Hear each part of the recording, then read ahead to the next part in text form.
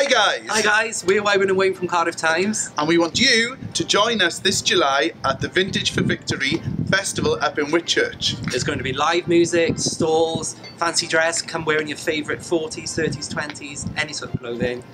And there's going to be live music. It's going to be the best party all weekend. So come on down and enjoy. Cheers.